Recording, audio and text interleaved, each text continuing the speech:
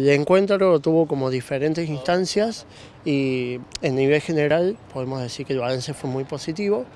Primero, la idea del evento fue plantear una discusión que vaya más allá de una catarsis de cómo está el sistema eh, científico-tecnológico y todas las fallas y demás, sino eh, ir un poco más allá y plantear un modelo o discutir sobre alguna perspectiva de modelo de, de estudio científico,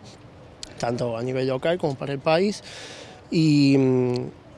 se nos dio una discusión muy buena, tanto con todos los actores que vinieron de Buenos Aires, de Córdoba y los locales, eh, con lo cual se van a generar, eh, eh, en conjunto con los trabajos que se realizaron en las diferentes comisiones, se van a generar documentos posterior a un análisis de, de, todo lo conseguido en la jornada,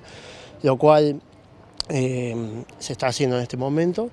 Y respecto después también a la mesa de educación, era la idea también darle un sentido, un análisis un poco más, eh, eh, fortalecer un poco más las relaciones, no solo científicas, sino con eh, la educación y la participación de la, de la, ciencia a nivel educación. Y también se está llevando a cabo el análisis mismo. En, en las próximas semanas vamos a estar eh, compartiendo todo el análisis llevado a cabo desde diferentes comisiones y de lo que fue eh, cada una de las mesas de discusión, pero bueno, eh, el análisis a nivel general de eventos fue muy positivo. Y a partir de este análisis, como becarios de CONICET, como trabajadores de la ciencia y de la tecnología, ¿cómo ven la actualidad de este tema? Y bueno, ya entrando un poco en, en todo lo que es eh, políticas científicas, eh, la actualidad es muy complicada, estamos en un momento de, de crisis eh, donde no solo eh,